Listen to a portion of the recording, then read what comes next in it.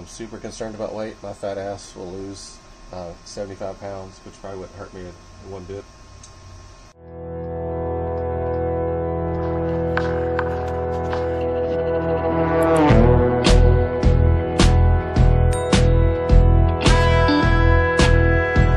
Okay, I'm gonna fish mouth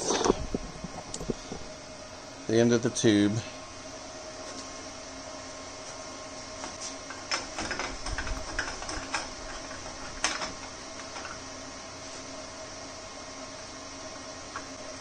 Good. We'll use a little WD. A little cutting lube.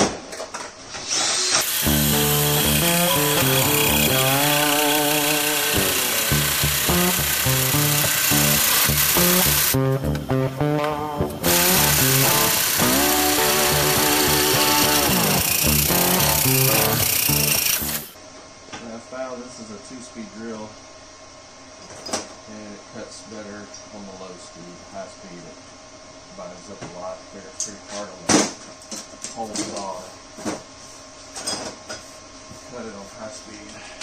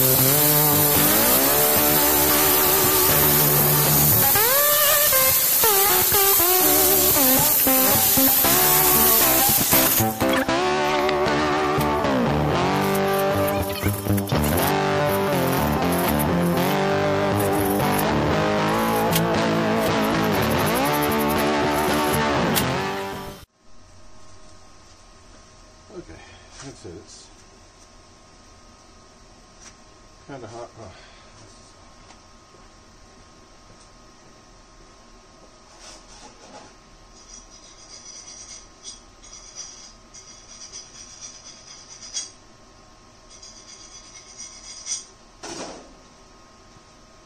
Can't always do everything with power tools.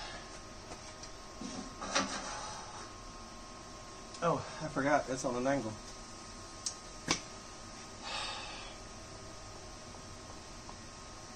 What a goob.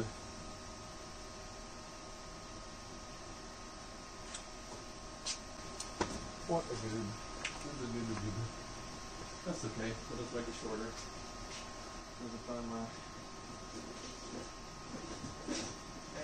Which is on stuck in this book.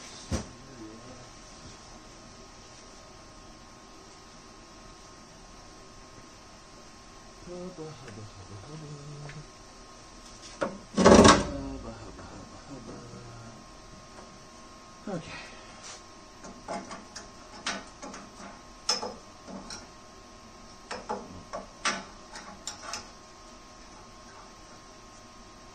This is not gonna work, is it? I guess I get it over here. So that was cool.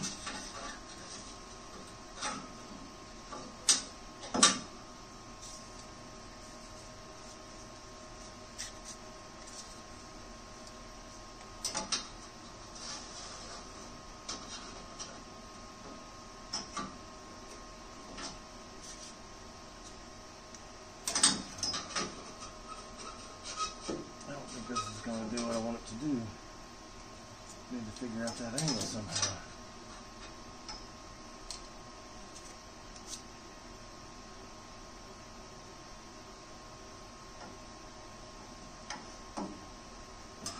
That.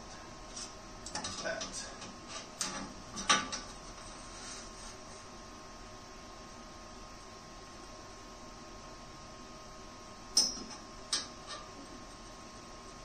That's that's about it. Alright.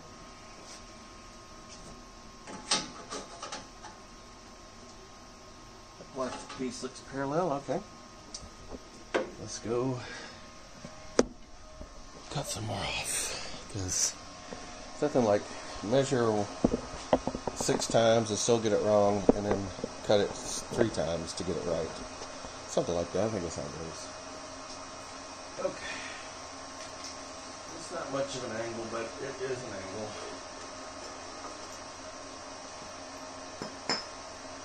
That's too short to cut off. Okay.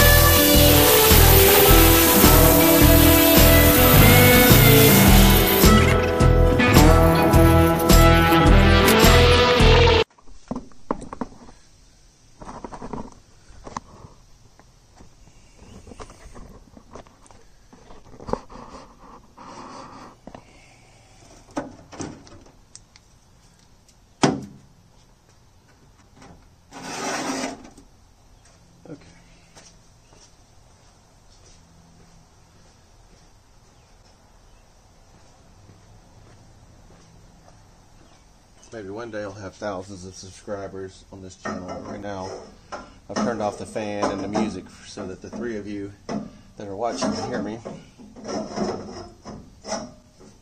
Okay, there we go. So like I said, we'll put it behind the leaf spring eyelets because I think when the leaf spring eyelets flatten out, they're going to come back.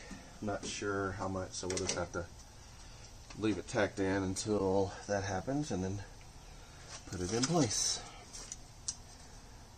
That may be too far back. Alright, I'll measure up there to my reference mark. That looks like the tape is bowing. Come on, cheap tape. That looks like that looks like it's a sixteenth short.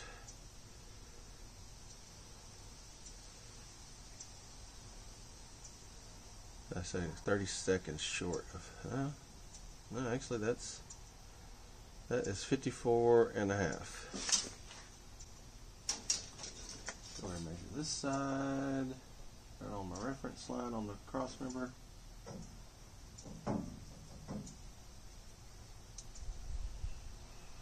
Fifty-four and a half. Ouch.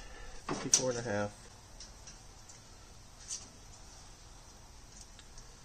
Get the bow out of the tape, get the tape straight. The half is actually at the back of the line.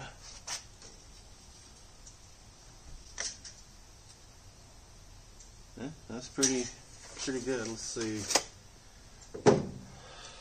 how square it is.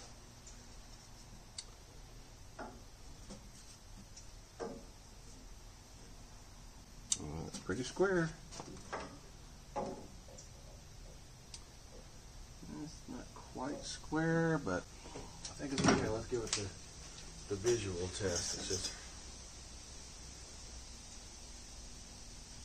Yep. Let's give her another measurement.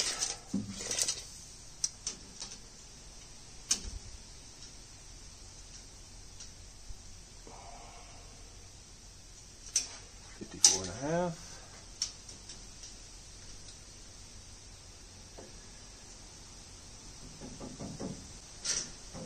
Ah, that's too much.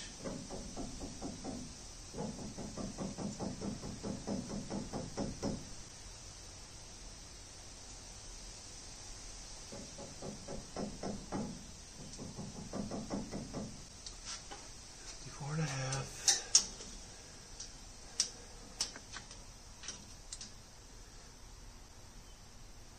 Let's see.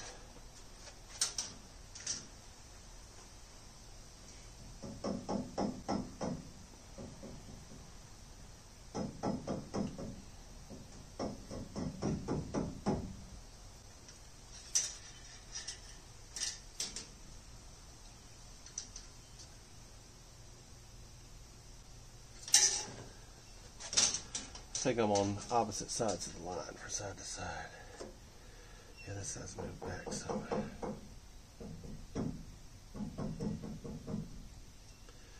Okay, the half is just touching the front of the line.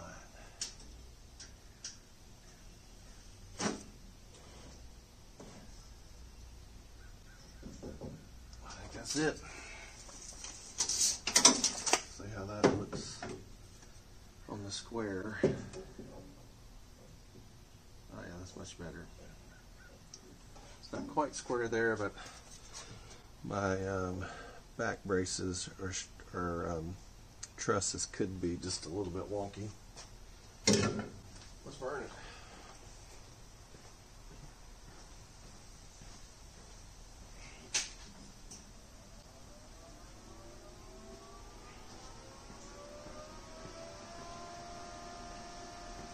Put a couple of tacks on it.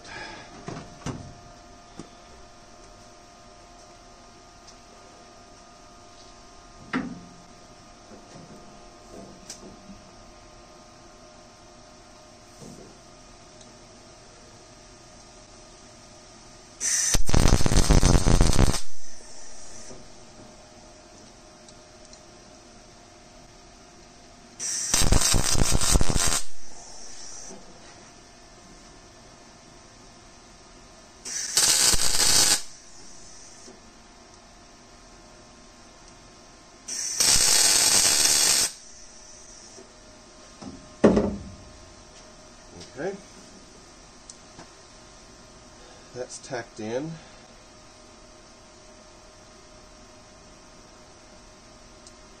I want to put a support tube right here and then gusset it. But since I don't know exactly where that's going to go yet, I can't make this because this gap changes. It's going to have to be made exactly where it goes. I do want to make another gusset up here somewhere, which is what I started to do yesterday, but was having a hard time um, making equal marks. So that's what we're going to do now.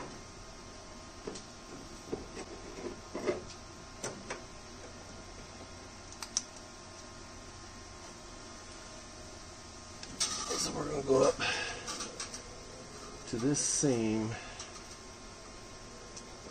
and come down 11 inches. Why 11? I don't know. I like 11. And we'll go up to this seam.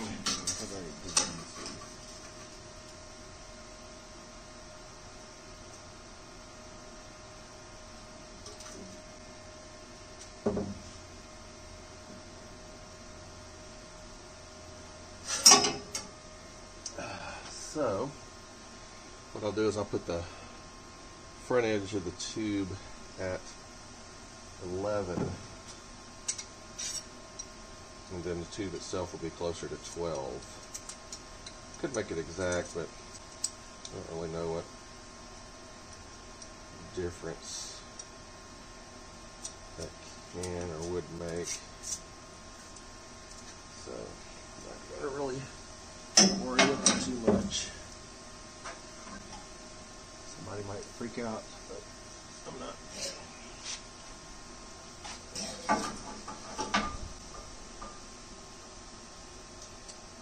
not a chassis builder, although back in the 90s, my brother and I did back half a, a Regal, put an alcohol injected 455 Buick in it, raced it for several years, pretty successful, and then, you know, life, marriage, business got in the way. So I've just decided that I'm 52, before I turned 60 or 62, and go, man, I wish I'd have gone, built me another drag car and gone, done some drag racing again. I'm just going to do it. Which is one reason it's taken a while. I got kids in college, don't have a whole lot of free money to uh, play with this, so uh, that's why I'm making do a lot with what I have. Uh, bought the S&W uh, 10 point roll bar kit. It should have been inch and 5 eighths, uh, 134 wall, which is good to 850. Uh, but when I ordered it back last, well, probably about a year ago, they said it was going to be like 12 to 16 weeks before they got more inch and three quarter or inch and five eighths material, but they had inch and three quarter. They could do it on that immediately, and I was like, well, you know, it's probably 30 pounds, 40 pounds more, maybe at the most. Didn't really matter to me. Um, of course, you know, it's a year, and I'm now just really getting to getting into putting the cage in. But where I've redone some of the bars and have replaced them with inch and five eighths that I've since bought, I'm still keeping inch and three quarter that came off the cage kit and reusing it for certain things. This is inch and five eighths. Um, so it's plenty strong, a little bit lighter. You know, obviously adding weight on top of the two by three frame rails, but again, this car is very lightweight. Um, so I'm not super concerned about weight. I believe it's going to be under 28, 2,700 pounds anyway. I'm super concerned about weight. My fat ass will lose uh, 75 pounds, which probably wouldn't hurt me one bit. But that's where we are right now. So I'm going to measure this up, make two identical pieces, and see see if they go in the identical place. Uh, and how good I, how good is my symmetry from side to side. I think it's pretty good, but we're about to find out. Follow along, shall we? This, I need this, I need we'll save the battery, and we'll turn you guys off. All right.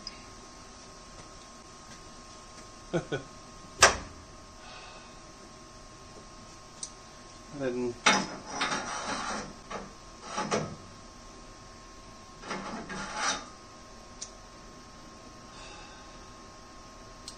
the angle the wrong way. Okay, so I messed up. I'm not afraid to tell you I messed up. So so excited to be doing this, to be working, and trying to keep up with the camera. I didn't even pay attention to what angle I put on it.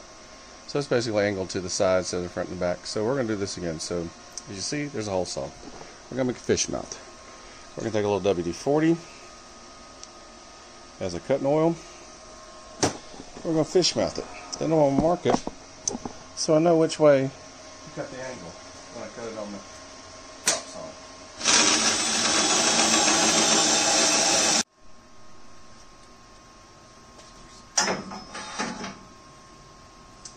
Oh yeah, look at that.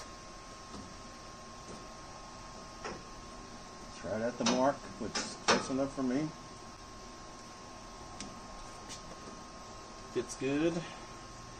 So let's go make another. Okay, I think I messed messed this one up somehow. Not sure. Not sure just yet. Let's see.